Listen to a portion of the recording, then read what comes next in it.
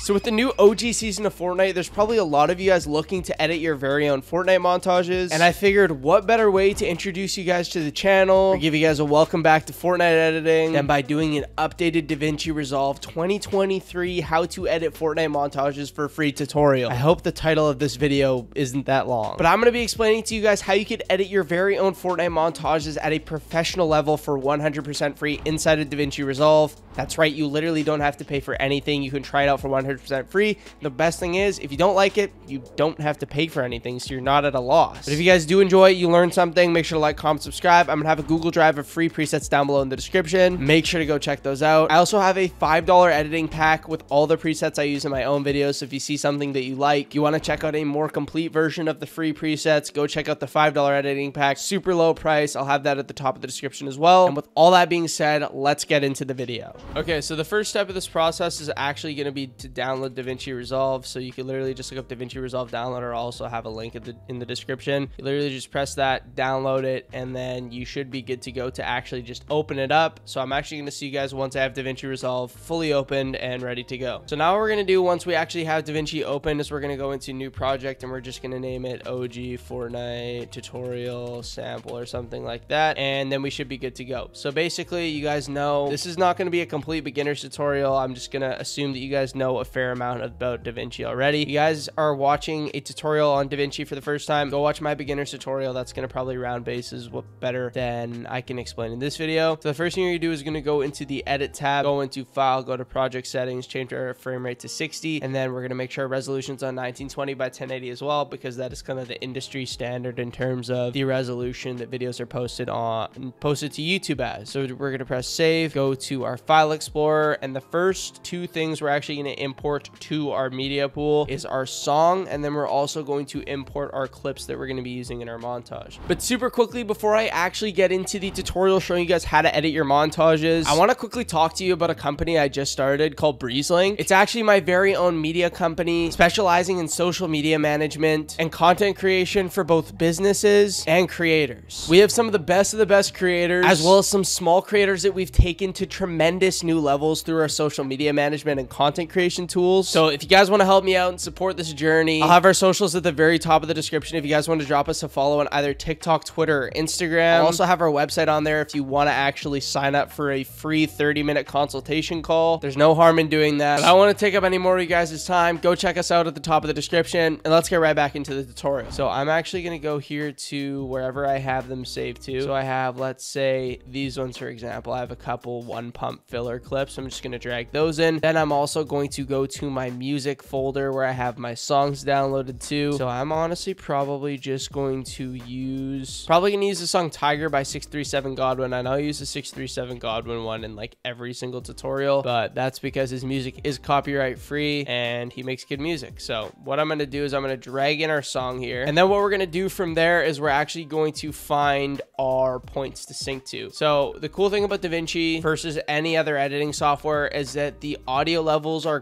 clearly defined from kind of like a visual perspective. We can see that all of these peaks in the audio track are our beats that we're going to want to sync to. So that makes things super, super easy when we want to actually sync our clip to different beats. So we can assume that this first spike right here is going to be the beat drop. So we can just literally come here, press M on our keyboard to add a marker. So we go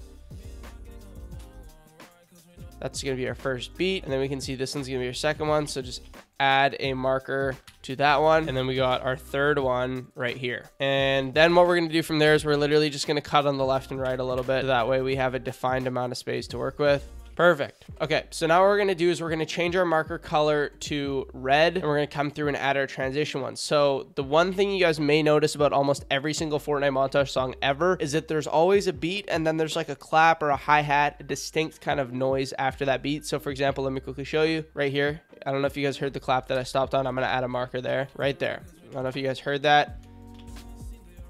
And then also right here. So we're going to add right there, and then also right here. So there we go. That is pretty much the little segment we're going to be using. We got our kill, transition, kill, transition, kill, transition. So now all we got to do is we're going to drag in our clips now. So starting off, we're going to do, I don't know, this 160 filler doesn't look the greatest. Maybe that one. Uh, actually, let's do this one. Okay. So what we're going to do is we're going to double click on any of the clips we want to use. We're going to find the actual kill itself. So right here, we're going to go to the right of the kill, press this little arrow to the right, go to the left of the kill, press this little arrow to the left. Then we're going to come through here and find the first frame that we have shotgun pellets on, which is going to be here. We can see the shotgun, pellet, shotgun pellets hit here, but the frame before it doesn't. So we're actually just going to press M on our keyboard to add a marker, drag that in, and then we're just going to line that marker up with the marker we have in the song, drag it out on either side, and we literally should be good from there. So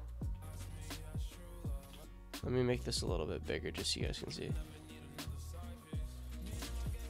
That's literally, it's super easy. That's all it takes. So now what we're going to do is we're actually going to time remap it right after we drag it into the timeline. So all we got to do for this, we can literally just click on the layer and cut it, right click, unlink these right here, go to retime controls, press this little black triangle, change speed 50%, and then instead of dragging it from the top, we're gonna drag it just like this. That's that little slow motion on the kill, and then we're gonna do the exact same process. We're gonna come through here, go to the left, go to the right, find the first frame with the shotgun pellets right here, which is gonna be that. Add our marker, line it up, drag it out on the left as well. Then we're gonna unlink it, cut it right here, click, retime controls, black triangle, 50%, drag it down.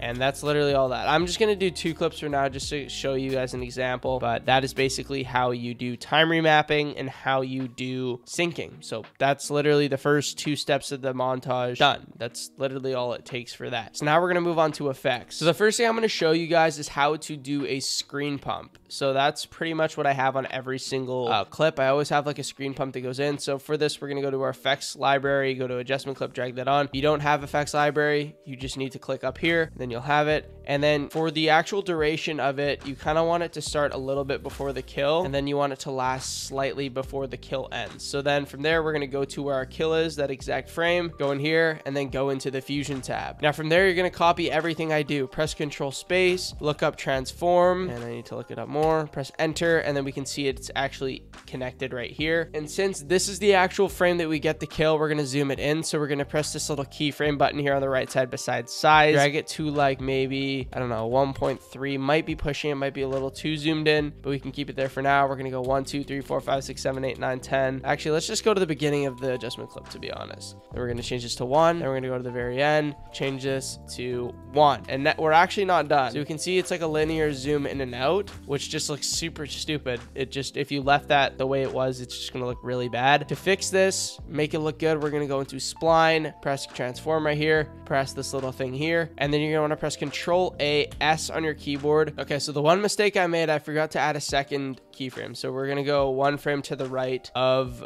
the 1.3 frame. We're gonna add a second one. Then we're gonna go back into the spline. So yeah, okay, now we should be good. You're gonna wanna copy this graph right here. Super easy.